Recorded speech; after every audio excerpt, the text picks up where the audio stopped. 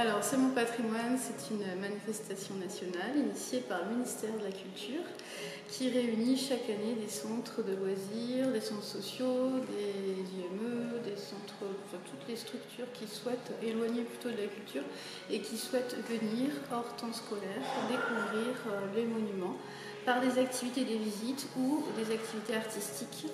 Euh, voilà, donc on après de proposer une thématique et euh, de faire appel à des artistes qu'on souhaite faire venir pour pouvoir donner cette opportunité aux enfants euh, de découvrir le monument d'une façon un peu différente, de découvrir le patrimoine et surtout de passer des bons moments aussi dans les monuments historiques.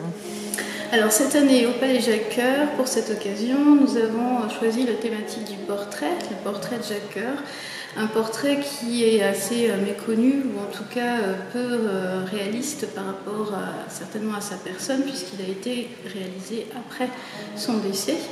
Et euh, donc on n'a pas une image très précise de ce qu'était euh, Jacques Coeur au niveau physique et même au niveau de sa personnalité. Donc on a décidé de travailler vraiment sur cette notion-là de portrait.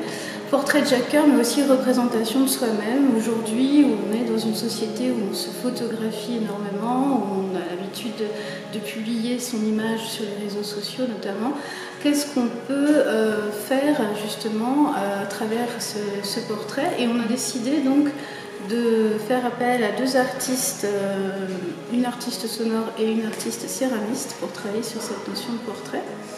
Et puis le service éducatif a travaillé aussi sur cette notion-là, à travers la photographie instantanée, à travers le calligramme, à travers aussi euh, les collages, une représentation de Jacques Coeur et de son épouse de façon plus moderne.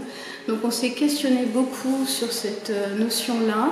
On a vu aussi le portrait qui est connu de Jacques Coeur euh, et on a essayé de se poser plusieurs questions. En tout cas, comment on voulait se représenter soi-même aussi et comment on pouvait percevoir Jacques Coeur. Euh, donc l'idée c'était un petit peu que bah, les jeunes s'approprient en fait la terre et essayent en fait de monter un volume, de créer en fait une petite pièce en 3D.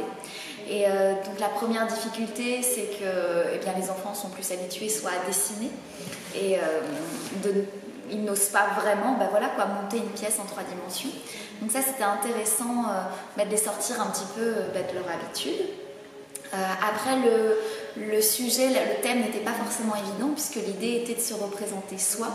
Et ça, je me suis rendu compte bah, en fait, qu'ils n'étaient pas tout à fait à l'aise avec cette idée euh, eh bien, de se représenter. Donc en fait, j'ai pas hésité en fait, à élargir un petit peu la thématique et donc soit de partir euh, bah, sur la représentation euh, eh bien, de quelqu'un d'autre, d'un ami, d'une connaissance, ou donc de s'inspirer de Jacques Coeur et donc de s'inspirer aussi du lieu et, et du personnage du propriétaire en fait m'a le plus marqué sur, euh, dans mon patrimoine cette année au Palais Jacques c'était vraiment l'appropriation des enfants aussi dans le lieu, qui a été très rapide.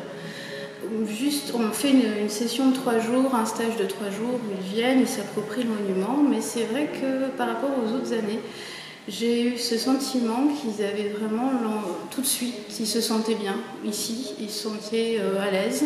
Ils ont eu une visite aussi qui était adaptée, donc ils ont voilà, ils ont pu profiter du monument, mais en se sentant, je pense, bien intégrés aussi.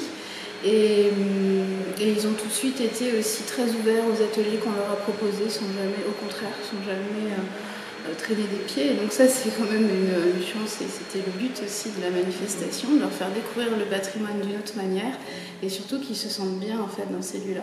Et cette année, ça a été, je pense, Paris euh, gagné. C'est ce qui m'a plu beaucoup, de les voir tous ensemble, surtout pendant les restitutions aussi les voir tous ensemble, partager ce moment-là. Et c'était les moments de partage aussi qu'il y a eu entre nous et euh, les enfants, avec les accompagnants aussi. Et voilà, chacun a trouvé sa place, je pense, en tout cas dans cette manifestation.